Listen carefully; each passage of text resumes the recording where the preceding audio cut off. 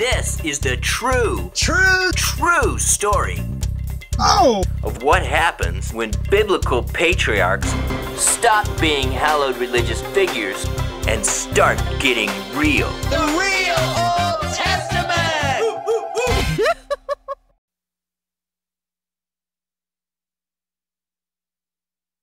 So, you know, I've been thinking about creation and everything, and there's really only one creature that I would prefer were not here.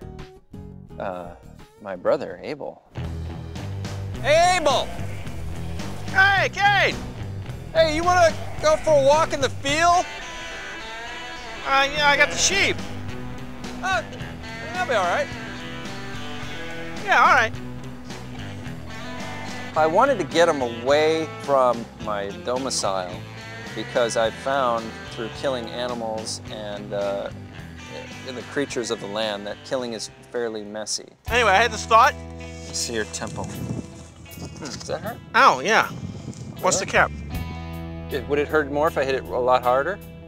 Yeah, probably. Really? Yeah. Ow!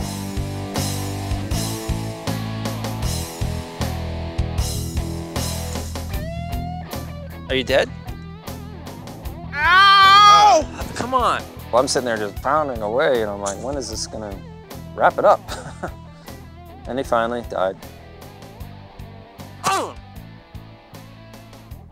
Are you dead? Abel? I uncreated him. Uh, if I, I don't think I miss him, but there there is a thing you got to think about that there are very few people, and he was definitely one of them.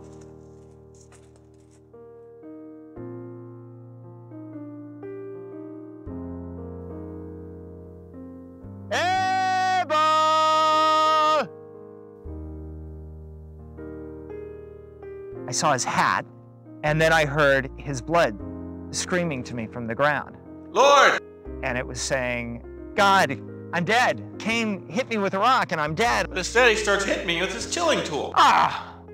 What's really tragic is I can't make him alive again. I mean, I could, but you know, it's one of those things where if you set a precedent, then everybody's going to want to be, you know, brought back to life. Cain! There's no rule about killing, so I was just taking what I had in front of me. I, I had a stick, and I had a brother I didn't like, and you put them together.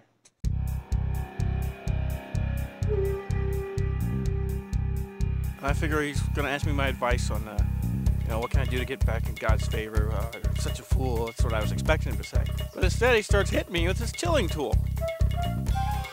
And I mean, oh wow, big man can kill a guy with a tilling tool. Oh, you can kill a shepherd. I mean, I'm a shepherd. I'm not trained in defending myself from tools. I mean, who's? Uh, why, why would you do that? Why would you? Why would you hit somebody with a tool?